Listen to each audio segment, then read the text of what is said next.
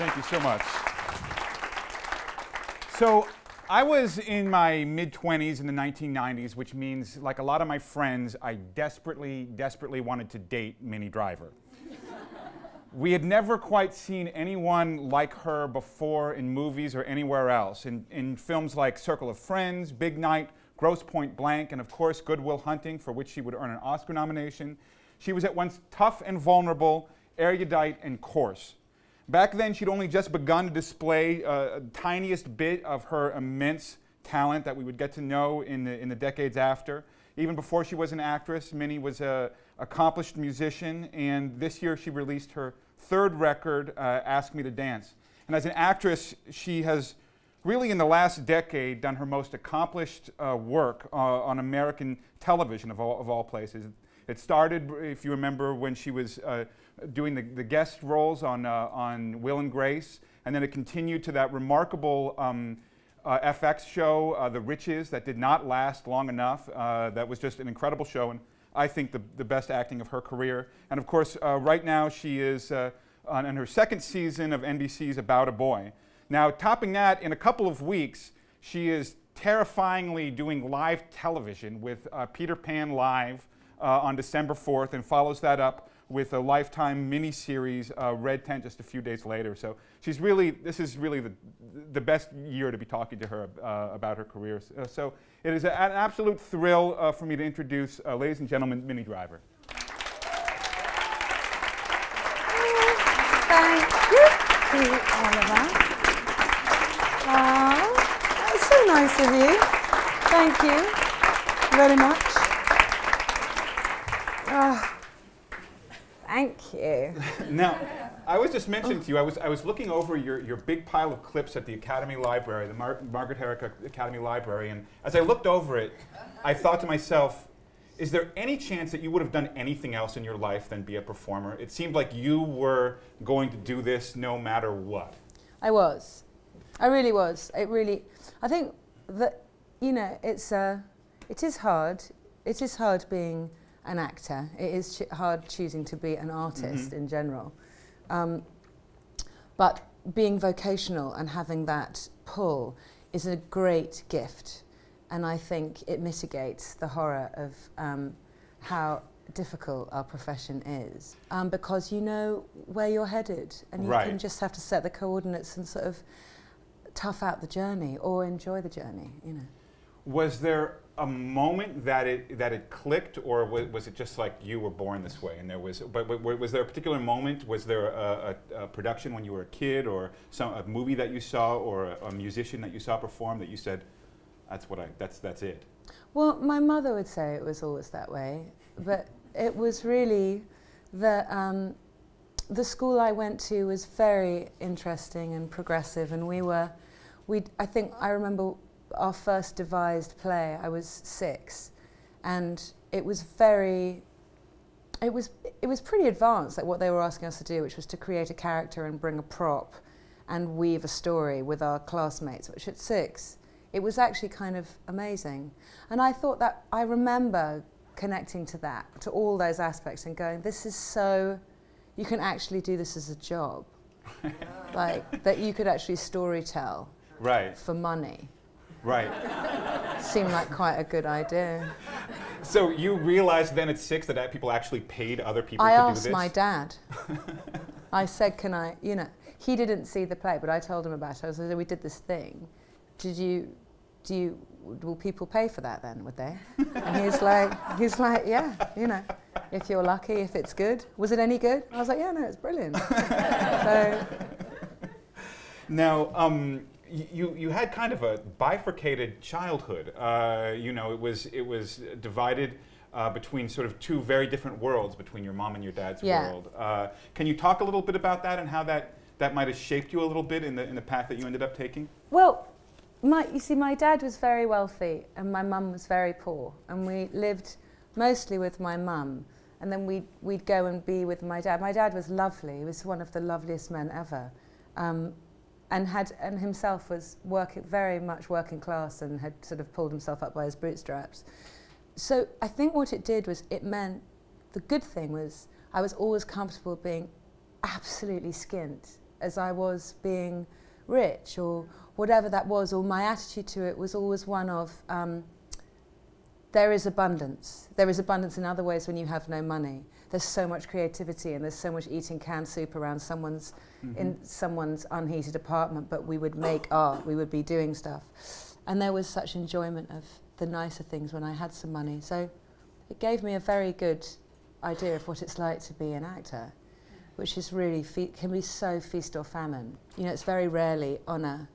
Right. I was saying that to my mum this morning. Like this job I have at the moment, it is the first time in my life I've actually known where the next paycheck was coming from. Right. And that I would be employed until a certain time. And it's, I've never felt so normal. It's really, it's weird. It's great. You, are you taking to it well, or is it fitting like a? No, I love it. I you love also it. get to sleep in your own house. Uh, you get to uh, sleep in your own house. I, I really do, I really do love it. It's um, it's a funny thing though, because people are um, still, there is such an, uh, you know, the cachet of being a film actor. Still, I still see it in people's faces when they're like, you know, you're doing a lot of television these days. And I'm like, I know, isn't it? isn't it great? Don't you want to make films anymore? I was like, no, of course I do, but you know, I can't live on 12 bucks and 50 cents. Right. That's what they're paying in right. films, unless you're one of five people. Well, you, you got some really good roles on this TV we do, thing. So, so you, I mean, it's a good time to be a television actress. No, there's never been a, there's never best there's never been a best time to be on television. There's never been the best time to be on television if you're a woman. Um, right. Genuinely, because I think um, not just because of the revenue, but because they've just it's blown up. The parts that are available are so much more plentiful. Right. Um, I, you know, I don't just want to be someone sort of faintly hot mother in a film. you know, I think it's more varied and interesting than that. Which in television, there's no, it's sort of no holds barred of what you of what you're allowed to do. It's still rather sort of censored and a, and a bit um, boring, dare I say it. In a, in, a, in most in, in a lot of films, I mean, there's there's a few really obviously wonderful right things happening, but um, not for everybody. Now, okay, it's one thing to do uh, a part in a play and to have a, a, brilliant time at it. It's another thing to start going to auditions and facing that, uh, which is a whole level of rejection and all the emotional ups and downs that go with the acceptance and rejection of that. When did you start to audition, and what were your early audition experiences like in London? Um, well, I was the only uh, person in my class, in my graduating class at drama school to graduate without an agent. So after our final performance in the theatre, which was above a pub, everyone went down to get a drink and everyone else was celebrating. And I was sitting there with my mum like, what the fuck am I going to do now? like, honestly, what? It's Saturday night. I can probably drink tonight and sleep away tomorrow. What is going to happen on Monday? I don't have an agent. I, I've, I've felt so confident that I would have somewhere to go. And there was nowhere to go. So, you know, I got a job and just carried on. And I used to go out dancing uh, with the small amount of money that I made from singing in jazz clubs four times a week. Um, I used to go out with this crew of people and we'd go out dancing all weekend. And it was the beginning of house music and like these big dance parties. Mm -hmm. And I didn't drink or take drugs, so I'd always be the person driving home. So it was me, you know, on the A40, which if anyone here is English knows, just coming back from some rave in the middle of nowhere at seven o'clock in the morning.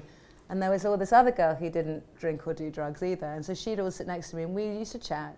And after about three weeks of doing this, this summer after I graduated, she said, well, what do you do? And I said, well, you know, I'm supposed to be an actress, but, uh, and you know, but I'm a musician as well, and I'm sort of waitressing. And, and she said, oh, I work for a casting director.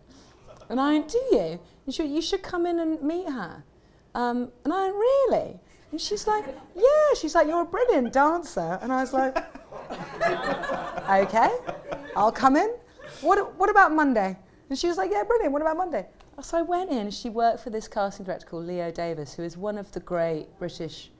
And Leo, you know, when I walked in, she was so funny. She was like, who are you? I was like, I don't know, I go dancing with Abby on the weekends. so I'm, I'm, an actress. I don't have an agent. I need help. What are you going to do?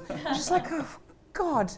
ah, sit down. And she was, and we had, the, she thought I was funny. and we had tea, and it was raining outside. And I kept saying, Well, I can't leave, it's pouring, I've got to stay. Do you want another cup of tea?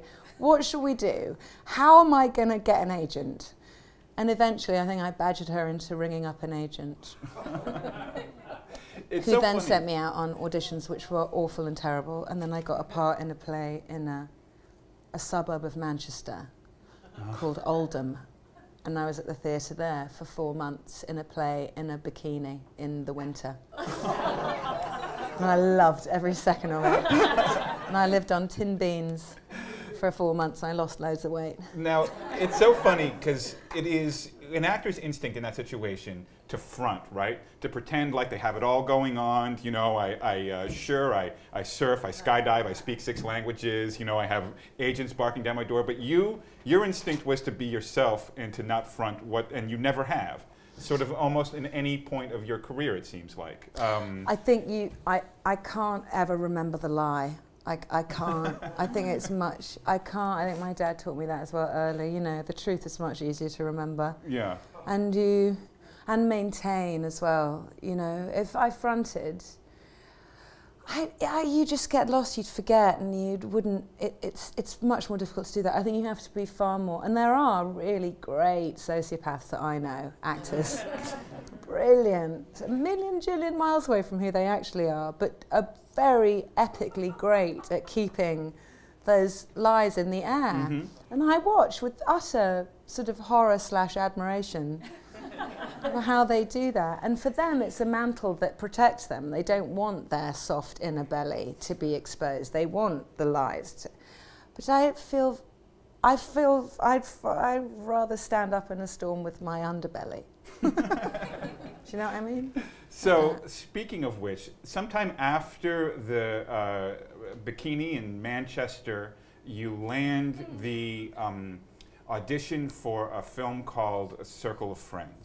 Uh, talk about how that came about. Because Well, I did a lot of television in between. That's so this was a time when, you know, I did this amazing four-part series for the BBC that Danny Boyle directed with Jonathan Pryce called Mr. Wroe's Virgins, which Mhm. this was a time when the people writing, doing the music, doing the scripts, directing, were all people who would have these big film careers. So they were all extraordinarily talented.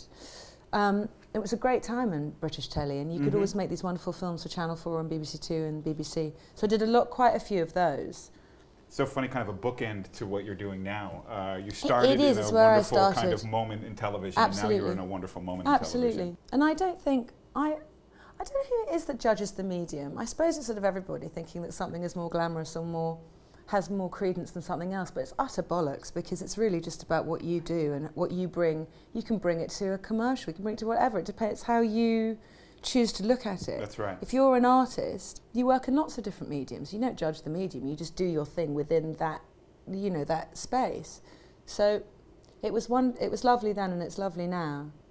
But Circle of Friends was genuinely I'd been But none of this would have happened to you without Circle No, it really wouldn't. And I, I was very you know, that film that film had a few different incarnations before Pat came on board to direct it. And uh, at one point, honestly, they wanted Winona Ryder to play Benny. but, and for her not to be fat. And for them to sort of completely rewrite the whole thing. That she was just, I suppose, a rather beautiful American. Mhm. In the best traditions of Hollywood, you know, that was the rewrite that was happening. And then Pat came on board and it all went back to being, thank God, Irish and great.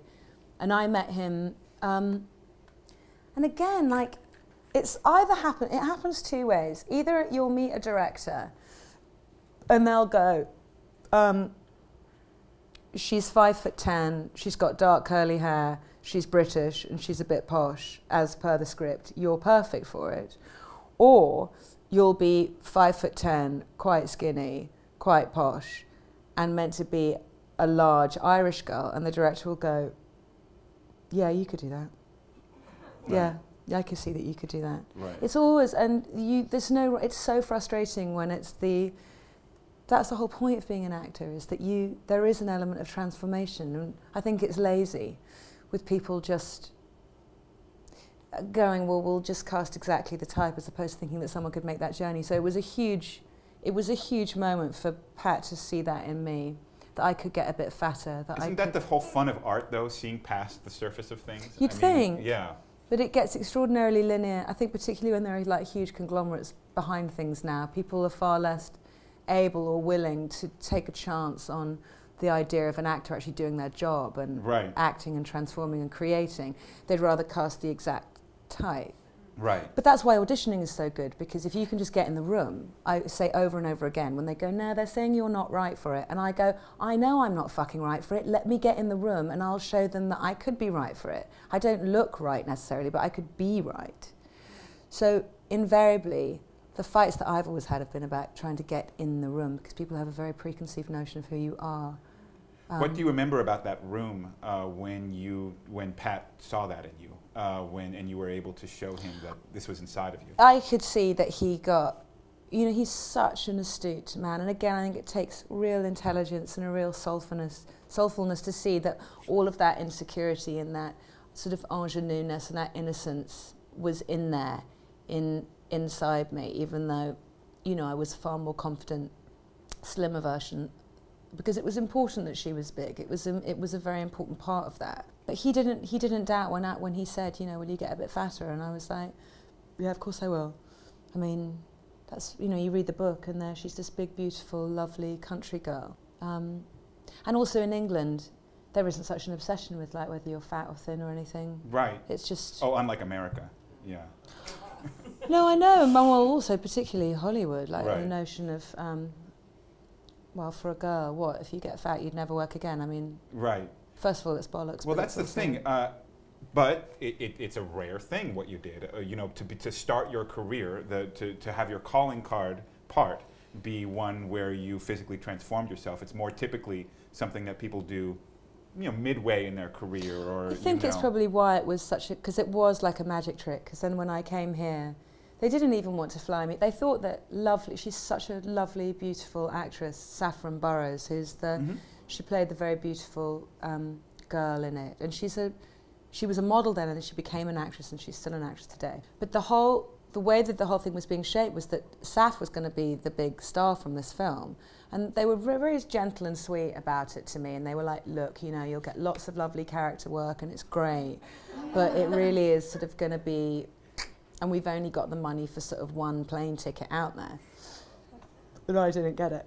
But my agent went, well, I think I'll give, I'll front you the money. Like, she said, we should go, we should go to New York and we should go to LA. We should go and see what's going on. And then when I got here, meeting with casting directors and studios and things, people were very surprised that I didn't look like the character. And I think that's why they sort of remembered me. It was a, Right. they thought that it was some brilliant trick. you know. So what? How, how did you do it? Uh, My, what, my what, brother woke me up at midnight and would make me eat pasta and Mars bars. It was very simple. there was no science to it. It was honestly, it was eat, eat more, move around less. it took a bit actually. It took a bit when you're not when you're not naturally that. I did. I did. I did. It took a while, but it was all right. And got there in the what about um, uh, taking it off again? Now I know that you took some time. Uh, you you lounged upon a beach in Uruguay, and Yeah, but let's qualify that. W- I was broke. I couldn't get another job, not because I was fat, thin, or indifferent, because I just could not get another job after Circle of Friends. That year, I was broke. You know, I got paid, what, four grand for that. I'd already run up a lot of bills from before. Like, that four grand went to sort of paying off the debts. Had a bit left. My sister was living in Uruguay selling jeans to all the the rich kids from Buenos Aires would come down to this little town in, in, called Punta del Este in, in Uruguay. And she said, well, come down here, you can live for sort of $4 a day. So I went down there and sold jeans for the rest of that year, pretty much. And then I did the Bond film. Then I did Goldeneye. I got a call at the post office, and my agent went, "Do you want to be in a Bond film?" And I was like, "I don't know. Isn't that like the kiss of death for like girls?" and she was like, "Yeah, all right. You don't kill anyone, you don't shag anyone, so I think you'll probably be fine." and also, aren't you living on a beach in Uruguay, like not making any money? How dare you? Selling jeans, Bond movie. It's like, you know. So that's why I'm heavily choice. suntanned in that film. I'm in it for 45 seconds. Now you also are have a uh, Russian accent in your in your few lines in that film after doing an Irish accent. Uh, was this something that you you were always doing uh, voices, making fun of tourists in London, or how, how did you uh, how did you come upon this skill of being able to to mimic people so well? Um, I think that's music, actually. I think it really is Uh-huh. the same part of your brain. The way copying the way people sound. Um, it's by it's just it's an ear thing. I Mhm. play I sort of play me. I don't read music as well as I probably should. I play it much more by ear. And it's the same thing with accents. But I really like it. I really like them. Right. And I really like working on them. And I do work very hard on them when I have to do them because I, I suppose because I like it. Do you, I, I, I feel like you haven't had a lot of roles where you've used your own voice. I mean, you've had a few, but I think probably Good Will Hunting was like the probably the Yeah. biggest one where I Yeah. used my voice. And That's now on, a, on About a Boy, that is all me.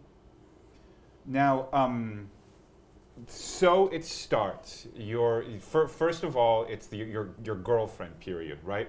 But you had the most glorious girlfriend period Yeah, that anyone has ever had. Uh, you just had a wonderful, wonderful girlfriend period, and it started uh, with with Big Night, Mm-hmm. uh, a film that. I don't know if you guys have seen it, but it sort of kicked off the kind of food revolution that we're still experiencing. Uh, uh, and I, I find it uh, hilarious that right after putting off all this weight, you go do a film that's about the greatest food film ever made in America. Yeah. But talk about getting that role uh, with that incredible cast and all that amazing food. Well, so this was the weekend that Lou, my agent, had said, let's go to New York because you should meet some casting directors because Circle of Friends, I think, had just come out. So we went and we stayed in this tiny hotel off Times Square and she set me up with a general meeting with Ellen Lewis, um, who's, because Lou represented Fred Molina and that was her calling card. So everybody would take, when she said, you should meet this person, I love this girl, they love Fred so much, they would go, okay. So that's how I got into Ellen Lewis, because she had no idea who I was. So I'm sitting there chatting with her, and I can hear that there's a fight going on next door, that there's the big argument happening. And she's trying to talk to me, she goes, I just, uh, oh, you know, one, uh, one second. And I hear her go next door, she's like, wait, shut the fuck up, I'm trying to have a conversation. Just go, and then there's like a big silence, and then there's a big silence, and then she comes back about five minutes later, and she goes, um, uh, you want to meet, you want to, you want to meet these guys? You want to meet these directors? They're, they're, they're casting a movie right now. You want to meet them? And I was like, sure. So I go next door, and I, I think Mary Louise Parker was meant to play the part in the in Big Night, and she just dropped out for whatever reason, and um, they Campbell Scott and Stanley Tucci were, were freaking out because they started shooting in two days' time. So I sat Mm. down with them, and we had this conversation. I mean, it doesn't really happen like that very often. I think it was just such guileless, whatever. And they were like, "Can you do an American accent?" And I was like, "Yeah." And they were like, "Can you go to work in two days? It's mostly improvised. Can you do that?" And I was like, "Yeah." and so I did. I think I had to fly to Canada the- to the next day to get uh, because they cast me in that room. And then I had to fly to Canada so I could get the visa and come back in on this visa. And then I started the next day. Ah. And it was, but when you don't have anything to match it against, you don't really think any of it's hard or weird. You just think that's what it is. Right. I, and we've, we're filming in, they're now these fancy 20, the 20, you know, the, where is it, the 26th Street Pier, you know, where the Yeah. sports centre and all of the studios are now. But then it was just warehouses. Mhm. And we were shooting in August. And we would sweat so much. You could see it in our these lovely sort of satin dresses. And Isabella Rossellini came up with this brilliant idea. She got a like a like a little spray bottle, and she just spray my whole dress down, so it just went a full. So the whole thing was wet, so you couldn't see the sweat, but it just went just went a shade darker. She was so she was like, "Tss, tss, tss, tss, "This will work. I know this will work." so that's what we did. And I was like, it's so perfectly normal to have Isabella Rossellini spritzing, spritzing you. Now you mentioned Stanley Tucci and Campbell Scott directed that film. You, you were also uh, directed So by uh, by Bonnie Hunt in the film uh, 2000 film Return to Me. Yeah. Uh, was it, is there anything different about being directed by people who are primarily actors or spend most of their life as, as actors? Oh, it's, it's, it is wonderful. It's hard though as well because, well, one they know all your tricks, and then they're more likely to sort of call you out on them. But they're also more exacting about. Um, they want more takes than a normal director. they do. They want more takes because they. I. I think they think of it from their own perspective as well. They're not necessarily looking at you and what you're doing, but they're thinking about them and going, well, I like 15 takes, so I'm going to make her do it. I think they're more subject to their own process as an actor directing as opposed to watching the actor and being led by that.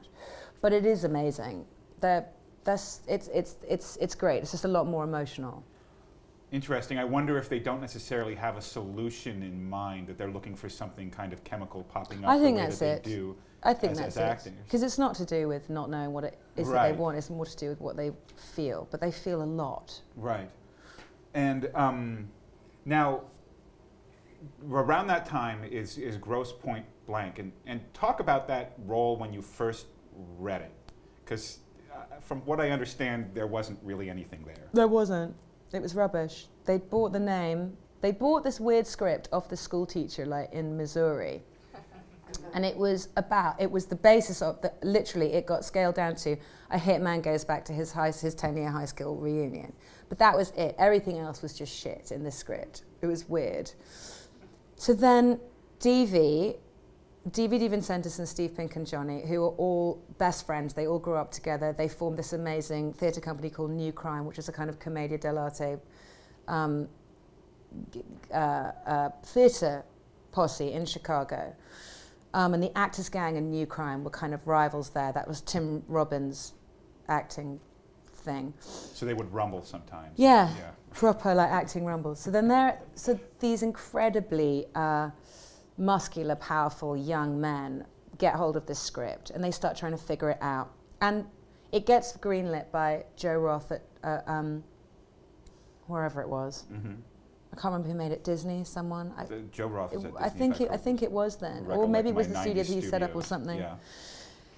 So the script is almost half there. They, we've got to use the money, as happens so often. Then you'd, you'd have a quarter to make to use. They had to like spend that money during that time. So we had to make the movie in this first quarter of the year, but the script wasn't really there. So we start shooting, and it's not that great after a couple of days. And so John goes to Joe and says, "Look, can we improvise? And if you hate it, if you hate what we're doing, after two days or three days, we'll go back to the unfinished script and keep trying to figure it out that way. And Joe, because he's you know was a real innovator, because he could, because he was the boss back then, he wasn't answering to anybody else, went okay. So then we go to the DoubleTree Inn in Pasadena and sit in a room, and go. He comes to the radio station, and she hasn't seen him in ten years, and she puts him on the air, and that's the scene. What does that sound like? And then someone would be on the computer and uh, we would bounce around ideas all night and come up with the scenes. And then uh, that's honestly how the whole thing played out. Was Johnny would and they would be creating and I would chime in and get yelled at and You must have wondered, does anyone in this country write scripts? I did Uh, think that uh, that you should probably get paid a bit more for writing it also. no, but I mean you, you didn't. It was it it was Big Night was much more mapped out. Uh, yeah. um, and there were there were much more lines, but I don't know. It was so lovely. It was so collaborative and so brilliant, and I did think that it was a lot more like that. But um, I did Sleepers in between, which wasn't. Sleepers was every single word was the word that you said. That's right. you Barry didn't- Levinson wrote that script. Yeah, and that's and how that- he writes his scripts. Yeah. Now, uh, staying on Grosse Pointe Blank for a moment, Ma- Marty wanted to ask, um, whose idea was it to play the airplane when Martin comes to see Debbie? Well, I tell you, so we had we knew that there was a scene where he come Martin comes to Debbie's house, and we wanted to show that they had a history, that they had a history together, that you could go back, and we wanted we didn't want to do it with words. We wanted them to do something. And that's something I used to do with my dad was the airplane thing. Like when he'd come back from a trip, we when I was a kid, we used to do that. So that was my idea.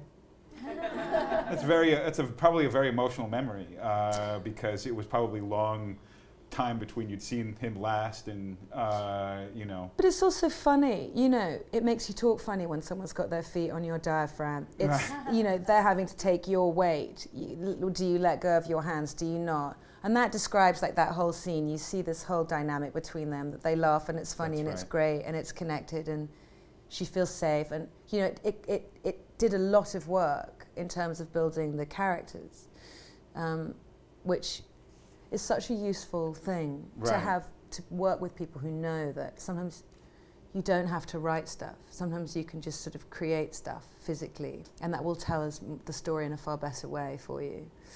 So there was so much buzz surrounding Sleepers at that time. The the book, there was all this controversy surrounding the book, and then every Mm. actor in the universe was in that f- film. It seemed like, including um, uh, Robert De Niro Yeah. and uh, Dustin Hoffman, uh, a, a young man named Brad Pitt. Uh, uh, first of all. Once again, you're, you're the chick among all these like really testosterone dudes. Yeah. Uh, w- w- talk about holding your own ag- against, uh, you know, in this sausage fest, for lack of a better word. That was that. I mean, again, like I didn't. I made Big Night, and I got that. I went and met with Barry Levinson on my lunch break, so I was still in my costume. Ah. And I think it was because I looked. I was so sort of vintage '50s. You know, that was his love and his era. I honestly think that, and I could do a good American accent uh, by that point. I think he was just sold on the whole kind of idea. But I didn't think it was weird. I was so riding this wave. I just, it was so funny and it was so fun. I love it. I, I love boys. You know, I do. I'm happy. I'm, I love women too. Like, I'm happy in the company of other actors and Jason Patric and Billy Crudup and Ron Eldard and Brad and Dustin and Kevin Bacon. and, oh my God, Kevin Bacon and um, um, oh, what was his name? That beautiful man who passed away. Brad Renfro. Him, but also the other, yeah, Brad Renfro who passed Yeah. away, but also the older guy, not Joe Pesci. Who was the wonderful? He was Billy Crystal's one of his best mates. Oh, uh, Bruno Kirby. Yeah. Yes, wonderful actor. And, you know, there were just the most amazing people around. So, because all those people were around, but trust me, there were so many other people around all of the time. Amazing actors just wandered in to visit their mates who were in the film Right. or Barry. The set was so social.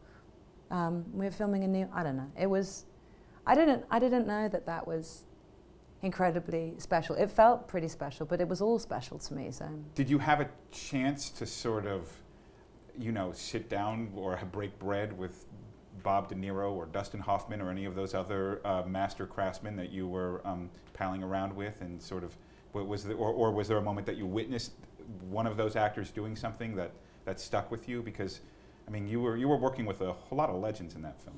Yeah, I mean, I didn't. Um, I think Robert De Niro gave me a line in that um, in the scene that I had with him. He gave me one of his lines because I didn't have anything to say in it, and that um, that was just about the nicest thing ever. I was very into him. We didn't rehearse on that movie. Barry doesn't like to rehearse, but if you were doing scenes with Bob, you rehearsed, and so that was that was really frightening and weird. Um, but he was amazing. But we didn't socialize. Um, Mm-hmm. but he always he always followed the movies that I made afterwards and whenever I would be at an event he would always come and tell me scenes from films that I'd made that he loved Oh. so he always he always, and now he's my producer he's my boss on About a Boy they uh, it's really strange Wow. we, I just saw him recently and You don't expect like- something like that from a guy like that. no he, he, was smart because I think they bought the novel with working title, so they made the movie Mm-hmm. But Dustin stayed my friend. He's still my friend. We made Barney's version together as well. But he was so fun on that set. He was so fun. He is a big jokester. Mm-hmm. And he, um, I know now, because I know him, he would do a lot of showing off because um, that was how he dealt with being in amongst, there were so many great actors and so Right. many wonderful people. But it was the first time he'd been in, he'd worked with De Niro. It was the first time they'd had a scene together, Ah, which was this courtroom scene when Right. he's cross-examining um, Bob. And it was, uh, so many people showed up that day to watch that scene right. like there was Tim Robbins and Susan. So there were all these people showed up to watch this scene. And Wow. when Barry called action, you couldn't hear anything. and everyone was like, you could see their mouths moving, but you couldn't hear anything. And then Barry was like, cut. And he was, and he came in the middle of this big courtroom, and he, he had his big megaphone. And he was like, okay. He was like, I don't care which one of you it is. One of you's got to, you, one of you's got to throw down. I don't care if you're if you're scared the other one's gonna be better than you. We gotta have a fucking scene. So speak up. So it was so funny. He called out Robert De Niro and Dustin Hoffman. They both all sort of shuffled around and then, like, you know, did what they were supposed to do. They were being too respectful to each other. They were being respectful, but they were also they were like boxers. They were just like they were sort of seeing who was going to go first, Right. like who was going to do what. I was like, well, I'm just going to wait and see what he does, and I'll just keep quiet until I see what he's going to do. What's he? It's great. So, all right, so that's that's your New York period, and then sometime around there, you you moved to Hollywood, and coming from London and coming from Chelsea, you must have had this idea that you get you go to LAX, you know, you hand them your brain, and they hand you you know two breasts to implant, and, Nah. and that's that. You know, Uh, did you have a preconception of uh, of Hollywood, uh, and uh, and was that it? Mm, I don't know. I'd. It's funny because I'd met enough people by then who lived in LA that were really cool and great, and I was Mhm. like, I don't think. I mean, maybe it's like that, but you know, there are lots of idiots in London too. People seem to forget that. I was like, they're easily avoidable. Like they'll usually be telegraphing it right out ahead of time that they're idiots, and you can usually see where they congregate and avoid that those places quite swiftly. but didn't worry me. I was quite excited. I only moved here because my best friend, who I lived with in New York, um, she was a screenwriter, and her boyfriend dumped her, and she was like, "I can't stay in New York anymore. I'm going to LA." And I was like, "Well, I don't want to be here if you're not here." So I went with her, and we got this apartment in Beechwood, and it wasn't. I, I lived there. I only just moved actually. I moved. I moved a few months ago. Um, I was there for 17 years, Ah. but we we had it was such a brilliant group of weird actors and artists living in that neighborhood. I never experienced the kind of Mhm. pneumatic titted women and Mhm. stupid men. I Mhm. didn't come across them. Mhm. I don't really come across them. I Well don't done. know. I think they're. I think there's there's such great people. It gets such a bad rap, Los Angeles, and I, I love it. But it was scary just because it was so big, and Right. hot. Right. Right. And driving was. I found my diary weird because I just moved. I was going through some boxes, and I found my diary, and I found this entry of the day that I arrived, and it said, um, "What happens if I fit in in LA?" it's really funny. I, I meant to tweet that. I still That's one of the, uh, you know, back in the day we didn't tweet, we just kept diaries. But um, Yeah. now uh, I, was, I wanted to know all these miraculous things that were happening to you. Were you journaling? I guess you, you Yeah, I were. did. Uh, I did. um, I'm so glad that you did, but what, what is it like to look at those now? I mean, I, I imagine you don't spend a lot of time looking at those, but I've only just found the diaries actually from that, from 96, 97, which was, that was Grosse Pointe Blank through Good Will Hunting. And it's, it's pretty amazing, actually. I did a whole piece, I wrote a whole thing during Sleepers as well, that was separate, but um, it, yeah, it's really funny. I when I'm reading it, I remember it like it, it was yesterday. It really feels very fresh in my memory. Um, I think just because it was so fun, mostly. it's we- so I had such a important to time. do that, isn't it? Uh, to, to write down, because you can never, it's not the same to just experience it. You kind of have to write it down to almost believe it yourself. Yeah, it, it is good going back, and Yeah.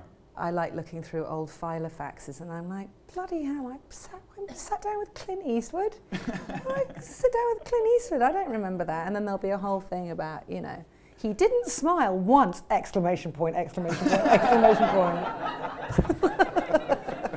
that really was. I, I did. What was that for? The Midnight in the Garden of Good and Evil. Uh huh. yeah.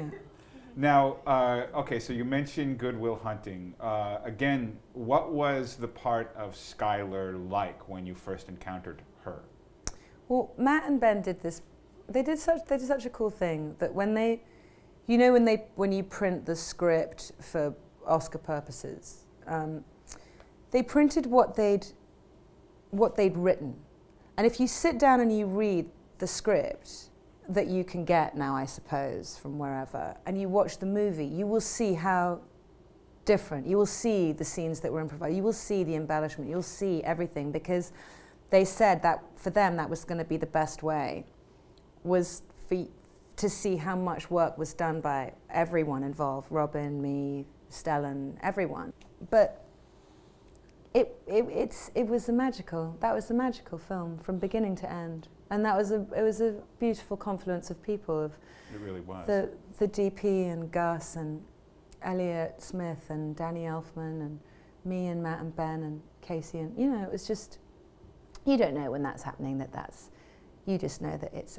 absolutely brilliant to do but you have you're also not that invested in whether something you're bet you we get so jaded with our idea of what what what success means you know then I was so young I didn't I still didn't think you know it's about box office receipts or it's about nominations or it's about this or it's about how many people come up to you or how famous you get how many paparazzi you have ch ch chasing you down the street. It's about um, you just sort of show up right. and do your and do your thing. And they you know he'd written Skylar was Skylar was the, the girl that Matt's first girlfriend was called Skylar and a lot of that was based on her but then she really evolved I think when they when they cast me because they wanted it to. They were Yeah. like we're boys we've written this girl's part. We don't really know how to write a girl so much. But there was enough you know the the fight scene was as written. Mm-hmm. that was I think the first scene that he wrote and that was exactly we did that scene as you know and then there are other scenes that are improvised and that where she was much more created by us to all, to, all together Now, Gus Van Sant is uh, an amazing American filmmaker. You, you talked about his uh, uh, ability to, to create intimacy uh, in, in a way that's, that's very unique on screen. Can, talk about a, a lot of something that, that, that he brought and that you learned from working with Gus uh, that, that you've carried with you since then. that you can be economical without being withholding you know as a as a director and you know his focus he would be at the side of the camera like wherever the camera was his face was at the side of it. He was never behind a monitor. He was never even behind the camera. He was right there watching Mm. the whole thing unfold. Um, and he was very he never said a lot but what he said was incredibly pertinent. And i've learnt to he taught me how to filter out when a director is trying to talk their way directors who talk an enormous amount to find to be able to filter out Mm-hmm. what it is that either they're trying to say um, or to trust that you'll sort of know what the note is when you hear it but you might have to sit there for 10 minutes Right, right. Uh, uh, so someone here uh, asked, would, would you ever, uh, was there a mo- remote possibility that you would ever work with uh, Ben Affleck and Matt Damon again on a, on a project? Oh, I'd love to. I love, you know, I love them. They're, you know, there was a, a, it was such an emotional time, like directly afterwards. But they're so, yeah, no, they, they wrote that to be actors. They didn't write it to be That's right. writers. I know they've written other stuff, but it's why I don't think they've ever like, written another. They wrote that because they wanted parts for themselves, and um, And they fought to, Yeah. to keep themselves in it, yeah. yeah, I mean, it was meant to be Brad Pitt and Leonardo DiCaprio for Right, a minute there. Castle Rock were like, if you can't find someone to buy it, right. we're going to make it with them.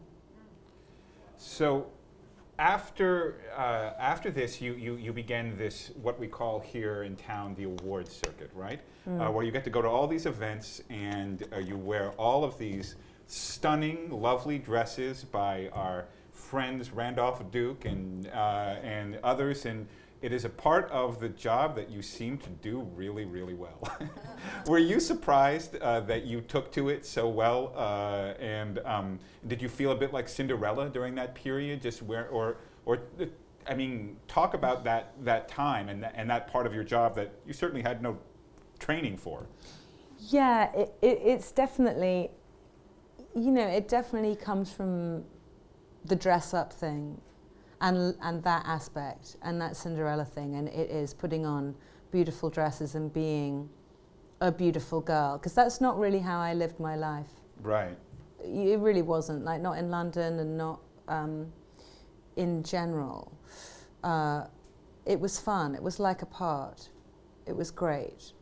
It was really it was really fun. It was really fun wearing all those beautiful. It was quite quite overwhelming as well, and that that point, I think I was probably at my most fragile, I would say, at my most actressy, of really not, um, not super grounded, smoking tons of cigarettes, drinking tons of coffee, not eating enough, not getting enough sleep, crying a lot.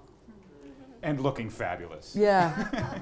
yeah, no, I mean, I think that, that was the moment of being of the most cliched moment. But I completely understood getting there. It's really, it is really overwhelming, all of that attention and stuff, when you, particularly if you're 7,000 miles away from your family or anyone. Um, I mean, I had nice people around me, but you, it's tricky. It's a heady combination, fame and youth and, and being good at what you do or and being celebrated for that. You know, it creates it creates a hubris and it creates all sorts of stuff that spins you out. Mm-hmm. And it is lovely and, it, and, it's fun to look at.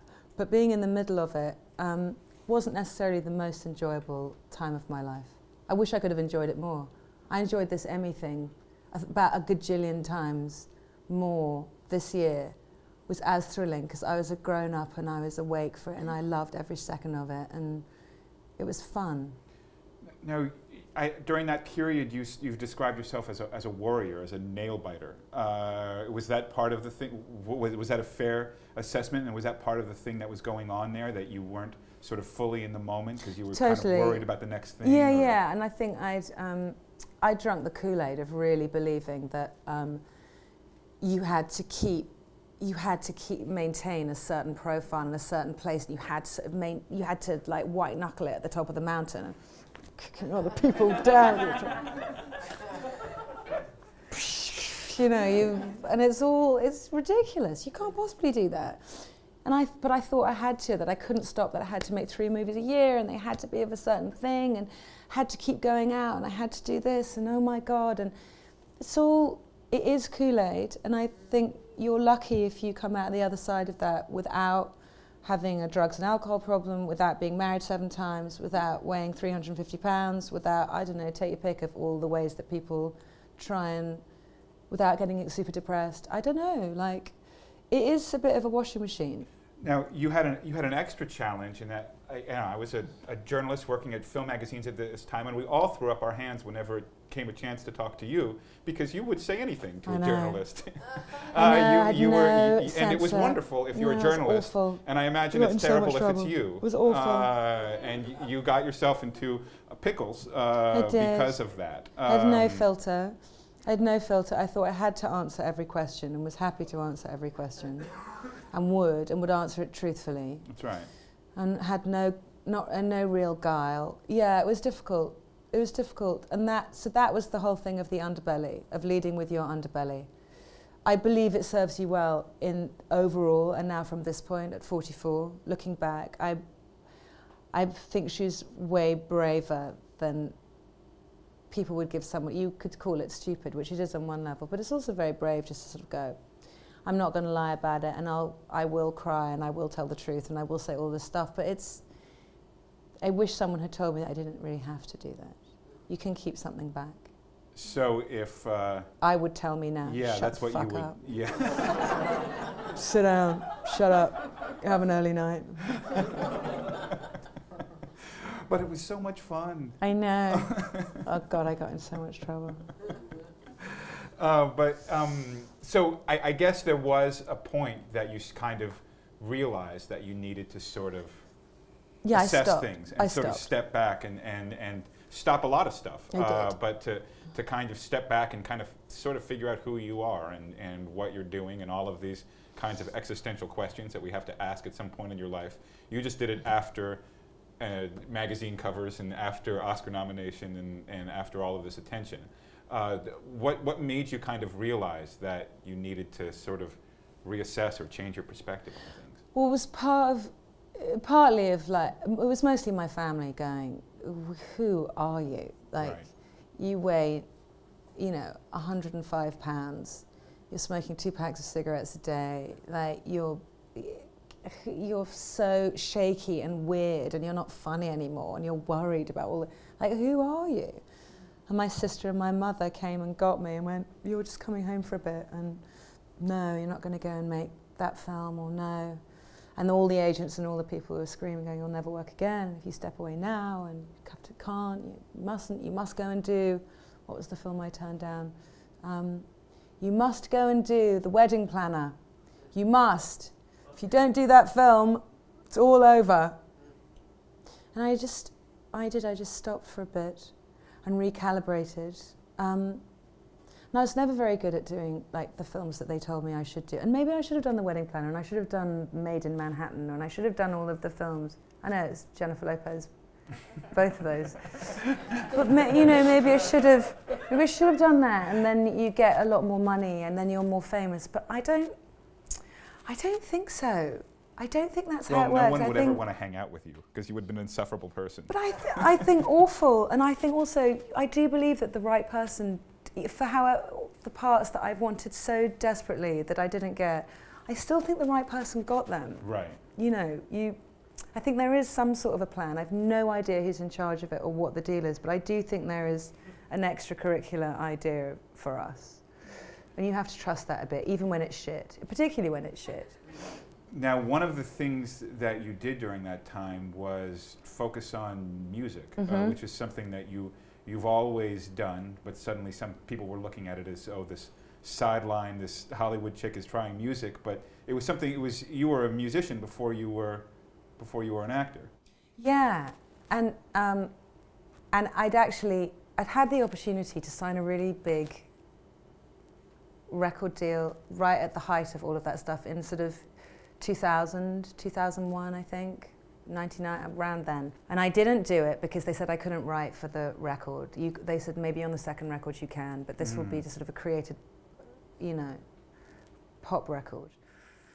So I went away and was doing stuff but I just was writing for a while. And then it was a, a, bunch, a whole great slew of musician friends of mine in LA who finally got me. I made the record. I made my first record in the garage and but I lived in Hawaii for a bit. I went over there I moved away from Hollywood. I went and wrote the record there. Mm-hmm. That in the guest house, not acting. And when you started to put together those songs, what were the experiences that you were you were drawing on, and what I mean, uh, because you can't again, you can't be fake there. Uh, you kind of have to lay it out.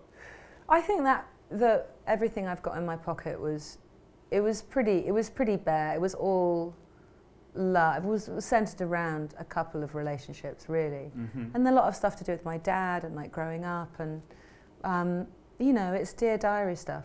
And it's better than therapy or it was for me that was better than therapy for me was to sit and write music. It, it's one thing i mean to be an actor and to be playing a part that someone even if, if you've improvised it's still someone else's role and someone else's story. But to suddenly hand over to the world this is my last two relationships. This is my relationship with my father. This is everything that I've been through. It's another level of vulnerability, I imagine. It must, I mean, that, or was it? I mean, talk well, about no, that. it's better in a way. I think what it is is that you're taking away all the filters because you're constantly being filtered as an actor through the director, through the editor, through the cinematographer, through the producer, through everybody. Everybody gets to cut and chop and paste and do right. whatever and create you. And there's there's nothing if you've written the music and you're performing it there's absolutely nothing between you and that. I was producing those records as well. So I think maybe it was just needed to, to have an un, it's not frightening to me to stand up with your sort of, of with you. I'd rather, you know, I'd rather go down with like a, the truthful version of myself than, than something fabricated. You know, I think I've done that over and over again, and you do, you suffer for it, and you also, you, the dividend is that you, you, you really feel your life. You know, you feel it, you feel all of it. And I like that. I don't mind that. I don't mind if it hurts. Right. Now, you, you start to rebuild or re uh, uh, imagine your career. Yeah, I ran somewhat. out of money. I had to. oh, but you did no, so in a remarkable way, and it was on. Um, it was uh, it, at least in, in my mind, and maybe you'll correct me here. It, it seemed to start with Will and Grace, uh, and yeah. uh, um, and uh, talk about that uh, and uh, and returning to to television. I mean, did you have this idea that you were slumming it and that uh, you know, or no? talk, talk about not in Will and Grace. I mean, that you know, that was that was they came. They, they, they came and they said, "Do you want to do this six, this six um, episode arc?" And you can be two. You could be one of two characters. You can be the this heterosexual affair that Will has. You could be a lawyer in the office, or you can be um, the slutty English version of Karen. and I was like, well, I don't want to do the other one. I want to do that. I want to do the funny one. so that, and it was. It was m- so much fun. Well, I imagine it was just you know you you you shattered a lot of things. It was it was so silly, it was so broad, and it was so much fun uh, that it just must it must have been liberating. It was. It was not sort of chamber independent film acting. it was big and broad. That's right. Um, and we do that now on, the, on our show right now. It's that. But it's so interesting doing that because nothing is ever. Um, when you say big and broad, you know, it implies sloppiness, but it's not. It's No. just like painting with a bigger paintbrush. That's right. And it's, it's as difficult to, to do that and to get away with it, I think is much harder than to just sort of be super introverted and have a camera right there and beautiful lighting and it be moody and you say like three lines and smoke a cigarette. And like everyone's like, oh my God. like you can, you can, it's hard to be like out there and like in really tight clothes and saying stupid stuff and kind of, I think we got by the Lorraine. She cries at one point at this funeral, and I actually give I actually give the finger when I'm wiping away my tears. like we, like trying to get things past the senses was really fun and funny and something that you know I dropped a tiara out of my hoo ha. Yeah. Like that's that's pro- that's on network television. Like, that was properly funny and good, Right. and you really feel like you're getting away with something when you do that. well, I, I think you're the first person on network television to ever pull that off. I think you're right, and I don't think they realise that. no, no. You haven't gotten your just respect for that yet. Now, now, I, I want to talk about the riches because that to me was the uh, the greatest work that you've that you've done, and I imagine on some level it was that a job like that was the reason that you wanted to do this from the time that you were four. You know, to embody something that was so utterly other, and to do it so completely. Yeah. Um, uh, talk about that, and, and this is a this is an FX uh, uh, series uh, where a Minnie played a uh, drug addicted con woman uh, uh, right out of prison, uh, uh, running with a, a bunch of gypsies. Uh, talk about this this role and, and, and getting it and what it meant to your life at that time. Well, it was it was without doubt it was the best part I've ever had for me, and it was the best. I think that's the best acting. I don't I don't really watch the stuff that I do. I try not to judge it because it's all different. But that was my favorite. That was my favorite thing I ever did.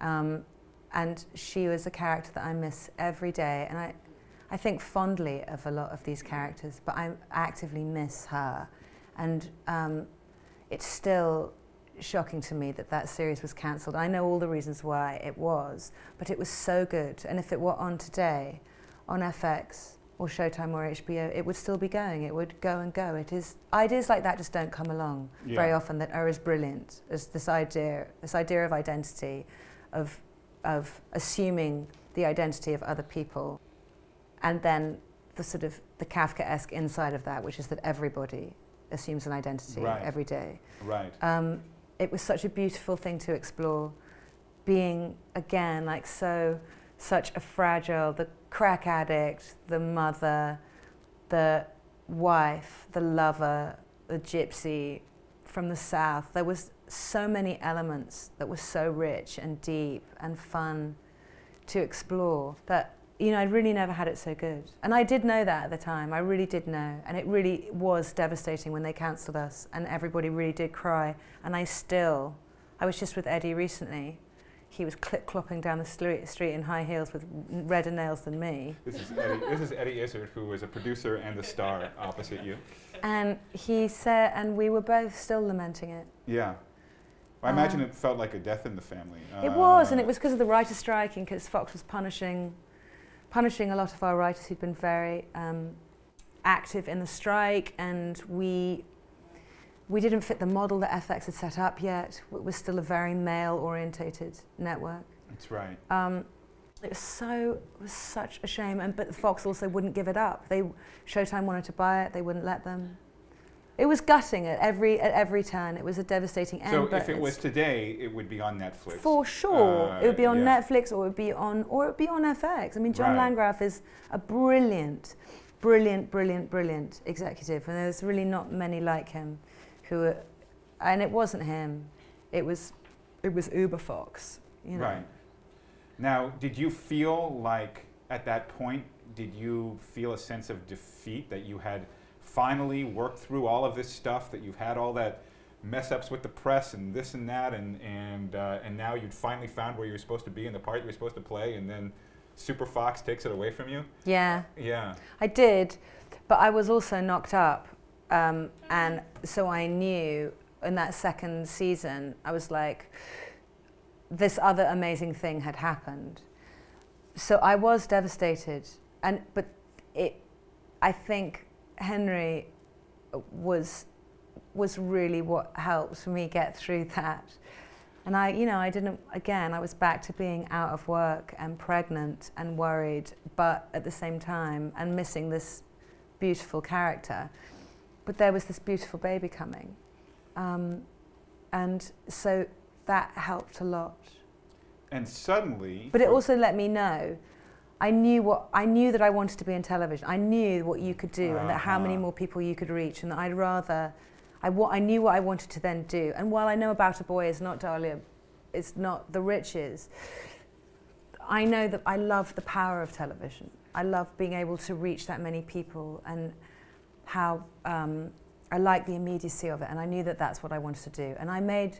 I spent three years making pilots that did not get picked up. People were like, "Where's she gone? What's she done?" It's like, well, you make a pilot, and then if it doesn't get picked up, you're fucked. And that's you have a year of going, "Okay, I've got to try and get work elsewhere."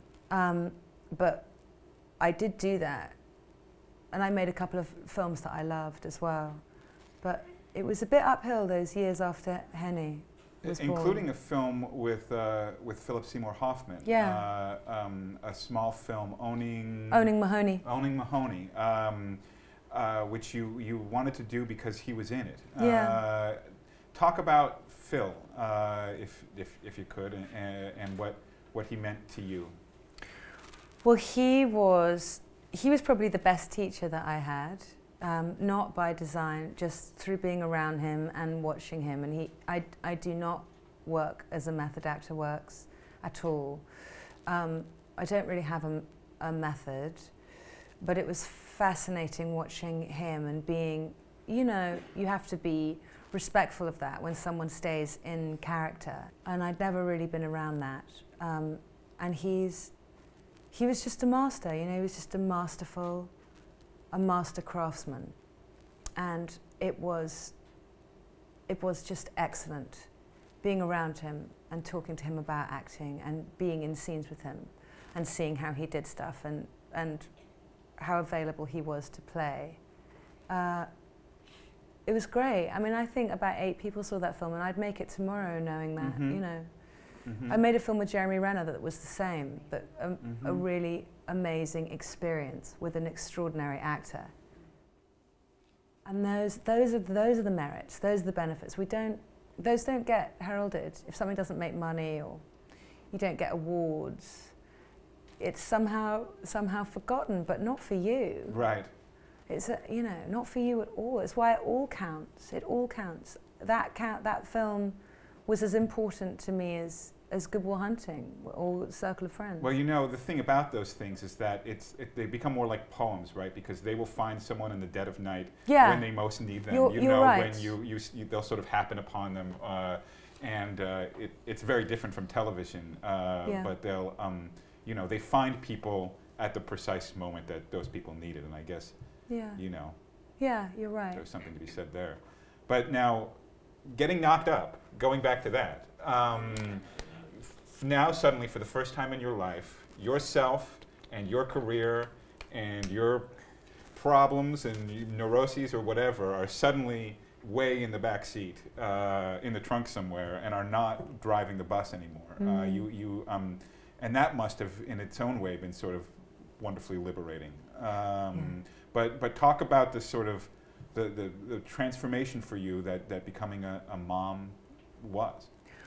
Well, when you've had your focus be on one particular thing since you were six years old, which was being out in front of people and performing in some fashion, whether that was musically or as an actor, to love something more than that um, and to Right. be consumed by something more than that was a, a really extraordinary revelation.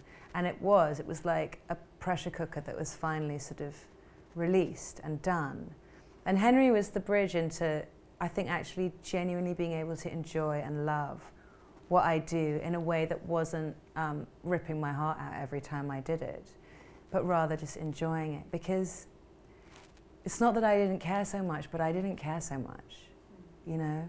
I loved him so much, and it was so much more important being his mother and what it gave me as a woman of like, didn't matter that I was, you know, a bit fat, and it didn't matter that I didn't have much money. It just, I was just really happy doing this other thing. And it, it took all the sharp edges off me Right. for a bit. Well, you also knew that when you got home, you were going to have a lot of fun. Yeah, exactly. And, and, there's, and, and being you know, the selflessness of being a mother, and I think particularly being a single mother where you really don't have anyone else to hand the baby off to, and it's just you doing it, um, you really learn what it is to be self reliant and how hard it is, and when to give yourself credit, and how to take care of yourself a bit better. Because you, I don't know, it's because you, you can't do all of those other things. You can't just stay out late lamenting about stuff, and you, you're not you can't indulge in that way. You're taking care of this little tiny creature, Right. and you in you you become a different person. And specifically, this little creature is a boy, uh, Yeah. which uh, requires a physical uh, presence. Uh, there's no phone staring when you're with a boy, or else he'll smash something onto the No, floor over your head. Uh, you know, uh, you, you have to be physically and mentally present at all times. Yes, you do. You cannot take your eyes off them for a second. No, no, they will destroy you. Yeah, and you're, they'll destroy everything. Um, but uh, and so that makes you fantastically present, just in a very different way. Right. You know.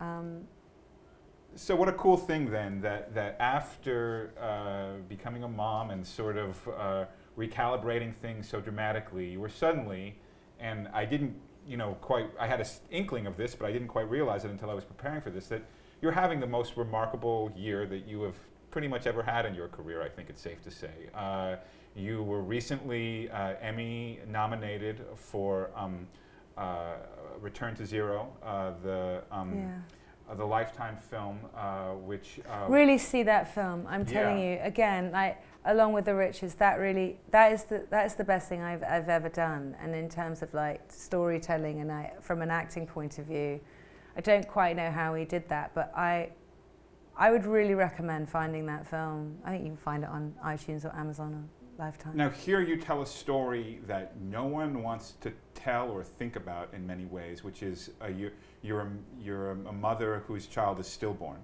Uh, and uh, it's the aftermath of, of that. Uh, and again, it's telling a story that is an impossible story to tell, a very difficult story to tell. But talk about the response of people to, to someone being brave enough to telling that, that story that so many people are, ha- have- have a hard time hearing. Well, it, the thing is, because it's so much about human beings, that film, you know, about how we deal with loss and how we sort of break apart and how you get put back together and the redemption of love, um, that it can't, it can't mitigate death, but it, but it is what will find you and heal you. The response to that, because we really could not get anyone to put that film out. I mean, or people would come out of screenings, I'd come out of screenings and people, they would all be sobbing, all these executives. And, and then they'd all say in the same breath, we can't possibly put this out because no one will watch it and no one will pay money to, to, to see that. So, you know, Lifetime, who has, up until quite recently, had, you know, Lifetime television for women, and it's all sort of creepy, those creepy films that they play. awful. Sorry, but lots really, of, but lots you of know, murderers who are, you know, sort of wobbly video, like Yeah, wobbly right. thing, just all. But they, This is something different. but it's really, but they've been making, you know, they've been turning this around so much with Bonnie and Clyde, and with I think certainly Mhm. with the sort of Flowers in the Attic, and they've been attracting really good actors. And anyway, they put our film out, and I am forever indebted to them, and I will do whatever they tell me or ask me to do forever, because I felt like this film was so important to be told. You have to tell stories. If we can see women's women's bodies being torn apart and the sexual objectification of young women, women across the board, such violence in films and TV, but you can't tell a story that might bring comfort to sort of millions of people who lose children and their story is never told. Why, you know, why the hell not? So it was so gratifying to put that out there. And it is a hard film to watch, but the response from people in the community who've lost children was absolutely astonishing. The idea of being seen, of existing, that you know, we finished our film with finishing funds don't, uh, from a Kickstarter campaign that 600 families who'd lost kids donated to. Like that's how we finished our film. They gave us sort of the 200 grand that we had to, to finish. So I think it, it, it went beyond, you know, just being this amazing acting exercise for me, just sort of selfishly as an actor, to really actually, I feel like it made a difference in a lot of people's lives, and that is an extraordinary byproduct. Well, that feels like a remarkable responsibility. That's that in a lot of situations could, you know, block you or kind of hold you up. To, to know that uh, people who have been through that have actually, in physically invested in your in your project. But that wasn't the case with you.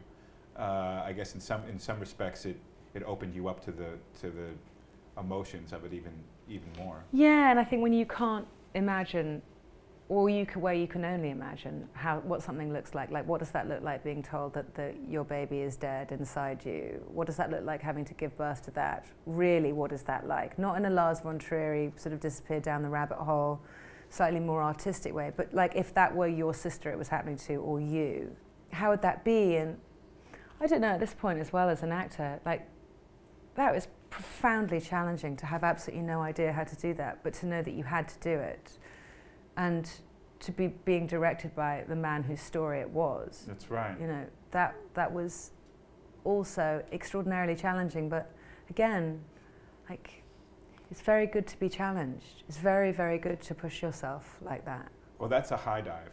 Yeah, if there definitely. in- in- into a very small pool. Yeah, the very, very shallow water. Yeah. Uh, and uh, I imagine that uh, there's a part of you that's been looking for that your entire life. Uh, I think you're always looking for that. If yeah. you if you like being scared by what you do, if what you you know if it's not if you're not just dialing it in and phoning it in and doing it because you're pretty and you want to make money, if you're doing it because you love that investigation and it's so weird and it's so can be so painful, but there's I still have it. I feel it the same today as I did when I was a kid. It's just this rare exploration, um, kind of internally. And you don't always find parts that challenge you like that. But what's interesting is that you can bring that level of exploration, I said this at the beginning, down to something that someone might commit just sort of pure fluff and commercial nonsense. You can bring that level of attention and detail into something that's incredibly sort of popular and commercial. Now, I imagine when you experience something like that, uh, you, you want more of it. And, uh, and I think the idea of doing live television, which you're doing in two weeks, right? Uh, Yeah. With uh, Peter Pan Live is, is a little nutsy and a little, uh, and, um, and, and a little bit of that uh, live wire feeling. Uh, is, that, is that what attracted you to, to being the narrator and to being the adult Wendy uh, in, uh, in Peter Pan Live? Funnily enough, no. But it was more that um, I'm really interested. Like I really love Bob Greenblatt. I think he's a really interesting man. I um, the head of NBC. yeah. So he's my boss on my show, um, and I like. Well, maybe I wasn't sort of the Sound of Music demographic. I like the idea of that. You see, I like the idea that you do something that speaks back to a different time in television when things were live with this more sort of variety idea. I like that he's doing that. I don't care so much whether it's whether it works in a lot of people's eyes or not, or whether it's hokey or whether it's whatever. I like that he's doing it. I like that it's being done. It's like there are certain filmmakers out there whose films I can't bear, but I'm glad they're making films. Yeah. I think you have to have these counterpoints, and I wanted to be part of something that was that hadn't been done in a really long time, and is a bit sort of broad and pantomimey. I mean, I come from England, like we love pantomimes. Mm-hmm. You know, where the girl plays the boy, and you've got Mhm. the crazy Christopher Walken type Right. character. I think it's interesting and fun and weird, and I don't, and I don't know. I mean, I, I, I was watching, I was watching something on telly the other day, and I, you know, they have that terrible banner that comes across the bottom of the thing. It was this awful, like advert. It was like Allison, like flying across, and it's all, and I went, God, what the bloody hell is that? I was like, oh God, it's Peter Pan. Oh look, oh God, I'm going to be doing that. But you see, I like that. I think it's good. I think you have to go and do lots of weird, different stuff. You shouldn't just stay being an enigma, doing the same thing over and over again. It's not interesting. Like, who wants to look back at a career of just the same big, heavy biopic film Right. over and over and over and over again? Fuck that. It's not interesting. You've got to do lots of different stuff. It makes you better. It makes you better. Going and doing the groundlings makes me a better actor. Right. Doing Right. tiny films where you don't get paid Right. makes you a better actor. Um, all of it makes you a better actor. Now, the other thing that you pulled off this year is your show about a boy uh, actually completed a second season, Oh, uh, which you you know, which had which was a which is a breakthrough for you. Uh, Yeah. And um, uh, so, talk about that. well, we uh, haven't. We're still shooting it. I mean, Oh, I won't. we're shooting it Sorry. through March, allegedly. But no, I think I, Um, we, we, we, we're, we're going to make 22. so- Yeah, no, I, I, I, think the signs are positive here. Uh, um, but uh, I know you don't like to count chickens before they hatch, so to speak. So, but uh, y- you have had a very positive experience uh, shooting uh, this NBC show, um, playing a very um, uh, super duper concerned hippie mom. Uh, was there a little bit where you were sending up yourself in a little bit of that, uh, or sending up some of the, the friends that you've made uh, here in uh, in LA? Um, Yeah, lots of having a little bit of fun with them. Yeah, definitely. Myself and other people, for sure. But you know, Nick Hornby, he'd already grandfathered in a lot of that. I mean, she was suicidal in his book, not depressed. Right. but the version of the, the kind of the crunchy, the total antithesis of Will. Right. And it's, it's very fun. It's very fun to play. And it's very good that they let her be English because it's, that's also, um, it adds another dimension of self, um, uh, not self deprecation, but kind of self loathing that I can put into it of uh, kind of unctuous mothers that I have known. And you get to do so many scenes uh, opposite an extraordinary uh, young actor, and you guys have a very extraordinary relationship uh, on the show, uh, which is very different from the type of parental relationships you see on television Yeah. a lot of times. He's very special, Ben. Yeah, he is. He really is. He's very, he's very special. Um, he's a very, very, very good actor. And I wonder if he'll even end up being an actor. He's a really amazing artist as well. Um, I hope he does because he's so good, but they're hard to come by. You know, it's difficult with children, and particularly children in this town, where they, most of them have been fueled by somebody whispering in their ear that they've got to sort of smile and make money and be that Disneyfication of He's kids. not like that. No, he is not. He is singularly not. He is bright and erudite and eccentric and interesting and Right. not like a child actor at all. Yeah, it's really wonderful to see an actor who is not cute in the in the in the Disney sense. but, Definitely, uh, but you know. thoughtful and and a, and just and a really good. He's a really good actor. Uh, and another thing you did this year is you did a first f- a first record of songs that are not your own, uh, that Mm. where uh, you you did uh, other people's music. Among the songs that you did on the record is a song by um, Elliott Smith, uh, who um, you, you knew from Good Will Hunting, Oscar nominated as well from Good Will Hunting, uh, and you did a song called uh, Waltz Number Two.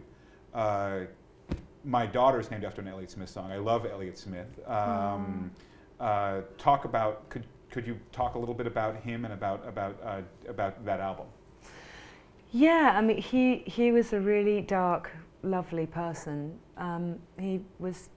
We went. We saw. We mostly would see live music. That was our friendship. Existed, going and watching people play music, and then him playing music, and then us playing music together. And um, I loved him a lot. And was in the studio a bit when he was recording XO and was there when he was doing the vocals for Waltz Number Two, which is why I put it on the record because it was such a. It was when I probably knew that was when he was the happiest I knew him. Yeah. Was while he was doing that record. Um, and I again, it's there. You know, it's Dear Diary stuff. This record is Ask Me to Dance is about every single song is connected to, and the liner notes in the record explain why I chose every song. But it's connected to moments in my life and. Um, uh, and then, because I've been playing with my band now for 13 years, when you start synthesizing other people's music, it does come out sounding like you, you know, the sound that we've got going. Um, I really love it. I really, really love this record. I'm playing, what day is it? Tomorrow I'm playing at the Coach House down in Orange County if you want to come. Don't you have enough going on right now? No, I'm telling you, I'm pissed off. I tell you, I didn't, wasn't paying attention when I said yes to that show, day before Thanksgiving, at 9.30. Yeah, on the 405. Stupid. Yeah. Uh, Oh my God, you're right. You're right. I'm going to have to leave at like 3 for a 9.30 Oh. show, aren't I? and I wanted to end this on a positive note. Uh, yeah. I'm, really, I'm, I'm, I'm super stoked to be. I love playing music. I love it. I do. I just wish it wasn't quite so far away. Um, now, uh, ask me to dance. We started off you talking about dancing. Do you still get out? Do you still dance? I dance all the time. I danced uh, this morning. I dance Um, all the time, every day, if I can. So you hit a rave on the way over here? Is that what happened? No, I go to I go to um, ballet class now, or I do a contemporary class. Yeah, Uh huh. I do. Uh, and of all uh, the arts that you, that are a part of your life, why why is dancing still something that you you return to uh, and and is important to you? Because it's outward motion. Everything goes inward as an actor. It's out. It's inward to go out, and that is just going out.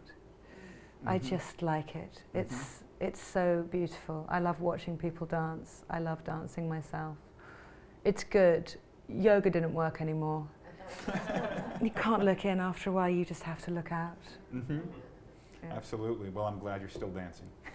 Me too. Uh, thank you, uh, and uh, thank you all for Thank coming. you today. very It so much fun. Thank you.